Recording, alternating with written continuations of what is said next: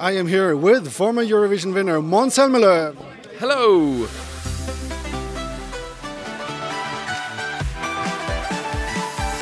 So, Måns, you are here, of course, because you won Eurovision back in 2015.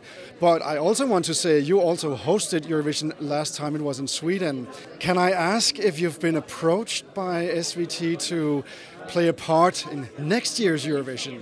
You definitely can ask. Uh, I haven't been approached by SVT, and I don't think it's going to be me. Actually, I think that uh, Swedish television wants uh, wants to do something completely new because I think 2016 was a very, very good uh, Eurovision, and I think, at least for me, it would feel quite hard to top that uh, from my own perspective.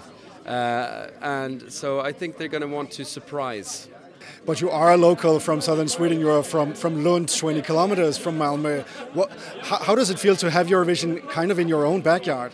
Uh, it's so nice, and Malmö did such a good job in 2013, so I'm sure that Malmö will be amazing this year as well. You have, of course, been involved in, in Eurovision in, in, several ways over the years. How did Eurovision change your life? Oh, so much. I mean, I've always been a Eurovision fan, as everyone knows. Uh, but um, yeah, and just being a part of it has has meant so much to me. And then winning it made so many dreams come true. Like doing European tours, playing to new audiences everywhere. Uh, it's it's really changed things. And and now, like nine years after, I can still come back to a show like this and open the show. It's that means a lot. Now that you've ruled yourself out as being a host, do you have any advice for future hosts in next year?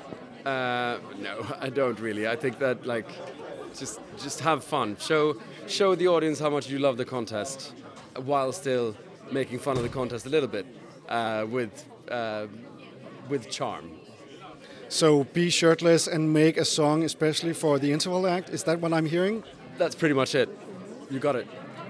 Okay, good advice from Eurovision winner Måns Zelmerlöw. We will see you tonight. Thank you so much. Thank you very much.